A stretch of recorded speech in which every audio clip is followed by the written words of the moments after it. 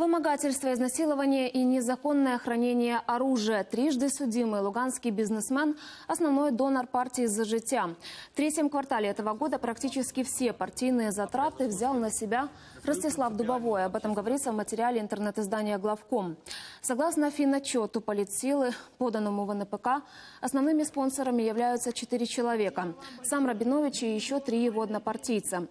Не считая офиса на окраине столицы, грузовика и пары тысяч за услуги нотариуса, все остальное оплатил именно Ростислав Дубовой.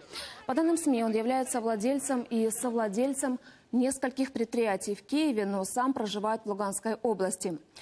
Период с 2009 по 2013 годы Дубовой был трижды судим, однако после событий на Майдане все обвинения были сняты. Журналисты утверждают, что в этом ему помог Игорь Керимов, криминальный авторитет по кличке Татарин, сыном которого уже в 2014 Дубовой зарегистрировал свои предприятия.